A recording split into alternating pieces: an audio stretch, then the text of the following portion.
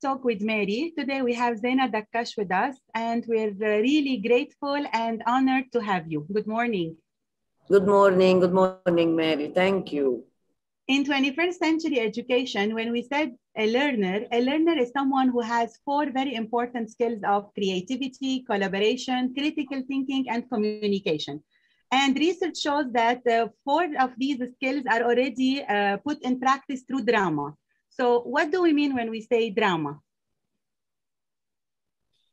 When we say drama, drama, it means uh, using the techniques of theater, uh, whether it's improvisation, it's uh, role play, it's, uh, you know, it, it, targets so many things like team building, self-confidence, creativity, all the things also that you said. And uh, anyone can benefit from drama. It's been proven since so long ago, whether it's students, elderly, uh, adults, uh, you know, not just actors do benefit from this. So drama was, you know, as we all know, it was uh, not created, but the, its first start was in uh, in Greece, the, the Greek theater, where you know people used to go there for three days in a row to watch one play and catharsis used to happen they say. What is catharsis? When the audience you know would feel something they would have their feelings purified. And also uh, the, the the actors are there acting you know getting their own catharsis in their own way. And uh, imagine if you are doing it also in schools the, the student himself or the spectator watching the student it's still catharsis. I love this word when you think about drama, catharsis. Yes, uh, and uh, we have seen a lot of schools already incorporate it as one of the ways to teach, especially with online learning now. Teachers are somehow also becoming actors uh, to present the lessons in fine, nice ways and involving and maybe finding talent in students as well uh, what are some things that teachers can do in their class? For example, if, if they're teaching about the English language or any language, how can they do, what activities they can do? Uh, we, I've done once a study, I think it was like 10 years ago for, for certain, uh, a network of schools in Lebanon. And they said, how can we incorporate uh, drama in every single thing in the curriculum, whether it's English, biology, math, and we found beautiful creative ways. So i sat with the teachers and each of them you know during this workshop was like okay so let's imagine i'm teaching them okay you said english. Mm, how would they do it? And they they found ways. I don't know for example she took the chapter in english about the four seasons uh, so we went chapter by chapter. And she said okay if i have 20 students i'm going to divide them into four groups one group would be autumn, one group would be uh, spring, one group would be winter, one group would be uh, summer. And the students had to find a scene, you know, where they can portray the season and show it to the other groups. And she said, as soon as I did this, you know, at the end of the course, each of the students were like, I know it's autumn, I know it's spring. You know, it, there was an image in their head, not just, you know, in the book, watching it passively. They enacted the thing and became the thing in order to memorize the word and see what it is. This is one pure example. If we go to biology, it was also amazing. Um, the digestive system.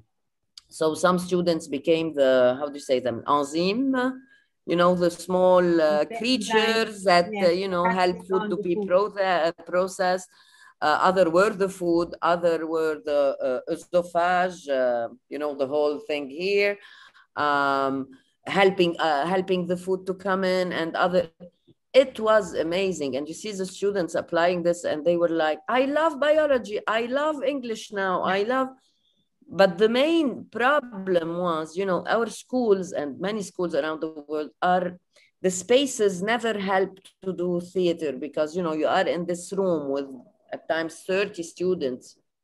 How do you manage? This was the main uh, problem of the teacher. How do we manage in this classroom to find space for them to stand up to run to you know to do the uh, this uh, personage in the biology system, I don't know what, blah, blah, blah. This was a main issue. So we started adapting and perhaps the classroom should not be the real classroom. Perhaps we can give this class outside in the, uh, you know, in the playground or somewhere else.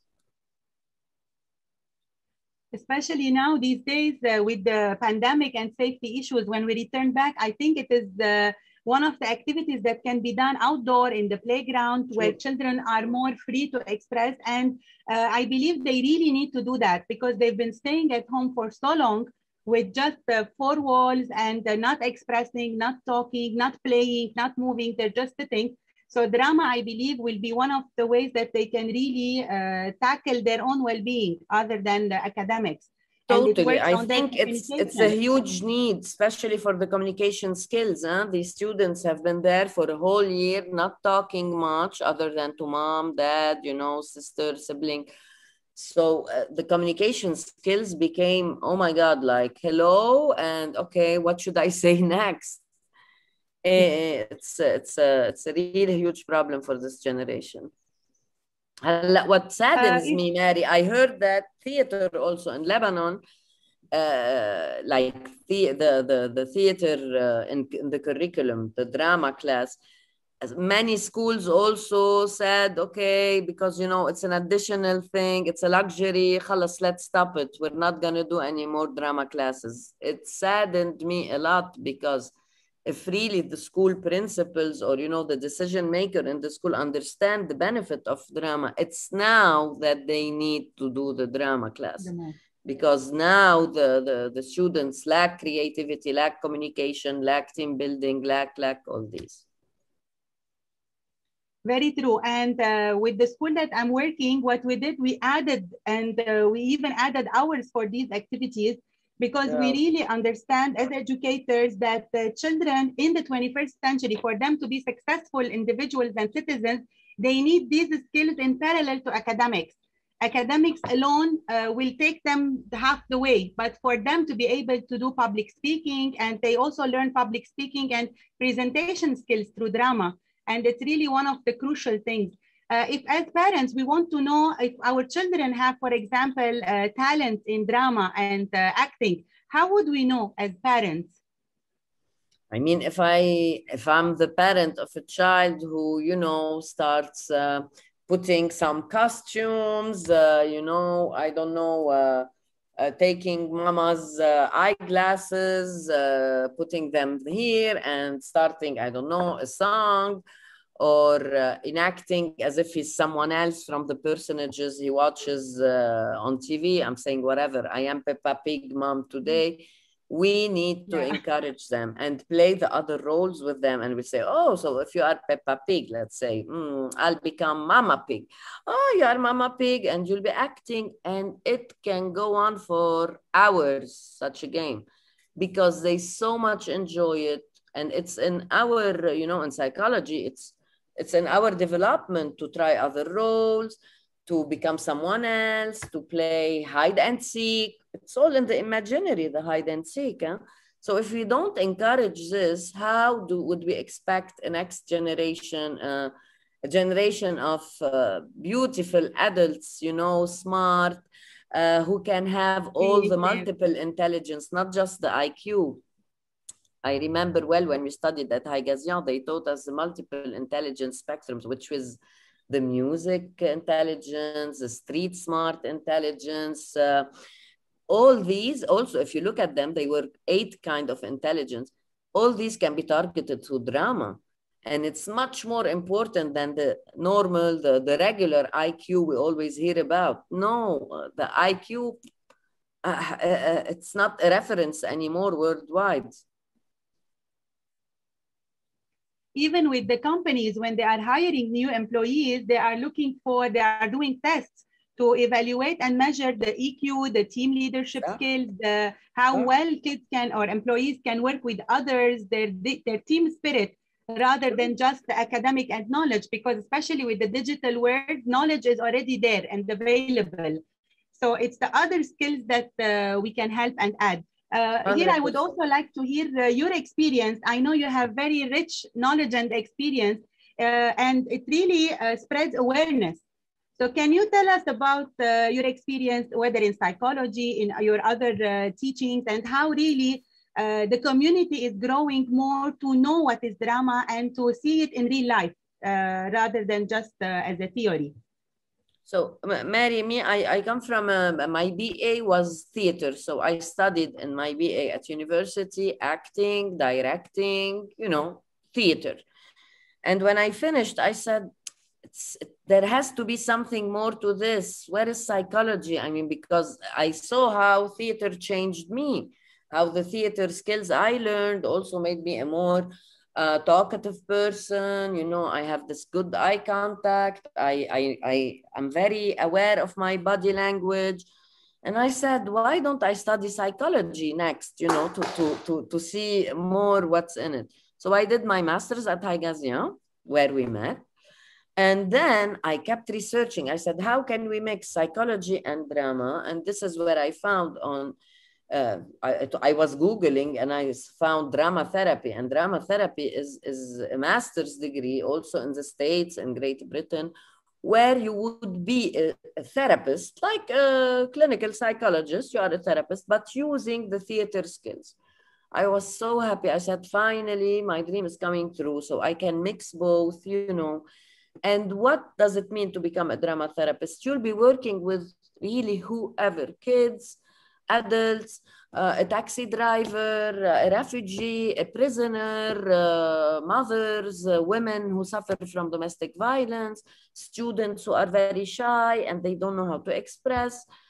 And I came back to Lebanon after studying in the States and I, I established the first Lebanese Center for Drama Therapy, which was called Catharsis, just like the word we said in the beginning. And we started offering services, whether in prisons, refugee camps for Palestinians or Syrians, doing training in NGOs and corporate. So we go to employees and we, we work with them on their public speaking, on the conflict resolution, role playing scenes that they are afraid of that will, I don't know, I don't know. Uh, my boss calls me and I'm afraid he's to tell me, oh, you didn't do a good job. Okay, let's role rehearse. What if this happens? What will you say? Do you know how to talk about yourself? And it's like a miracle. You see people changing. You see you see companies changing. You see the prison changing. You see laws changing because also in our work in prison where we went and did drama therapy it's been 13 years. So we do the therapy for the prisoners and then they prepare a play a theater play and people come from outside and watch them inside prison so you see the whole awareness of the people. They are like, oh my God, these are criminals, but look at them. They they know how to speak now. They know they have reconsidered themselves. Uh, they can teach us a lot from their experience. And judges and ministers were there, you know, and they were like, okay, there are some laws for human rights that we need to change in this country in order to give chance to these people to become better people. So this is really what I've been doing uh, in the past 15 years of my life. Plus, I have a private clinic. So I am a drama therapist where individuals would come, you know, in transitions maybe in their lives, in a, in a phase that is very difficult for them. Some are grieving, especially after what happened in Lebanon, you know, the Beirut blast. Some are parents who are not sure how to parent anymore their kids due to the COVID, due to many things, and they come for tips. How can I play more with my kid? Uh, how can I make him, you know, more self-aware uh, about uh, his uh, preciousness, his beautiful uh, soul? And see, you can target so many things by doing drama with a therapeutic objectives. So the, the objective is for it to be therapeutical for the people.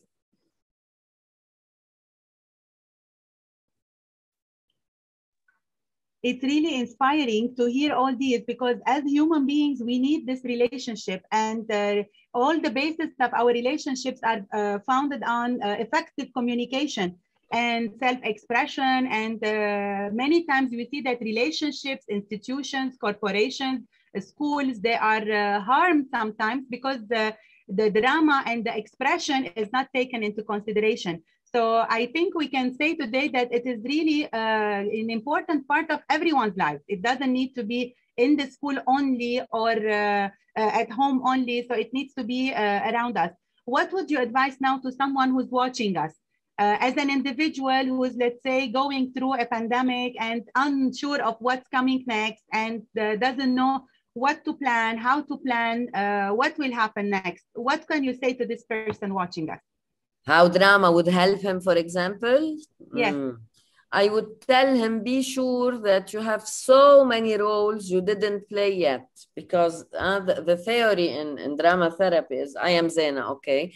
But I play so many roles along my life. So let's say I am Zeina the teacher, I am Zeina the mother, but I am also Zeina the, the angry woman at times, and I am Zeina uh, the strategic one at times. I am Zain the calm person at times. So I am so many things.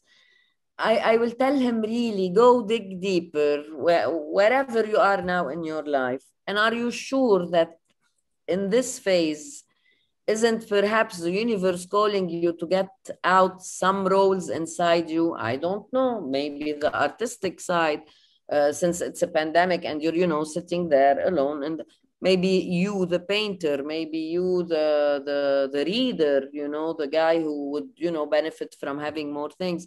Maybe fixing certain relations in your life during this uh, pandemic. I don't know with my mother with my father talking more.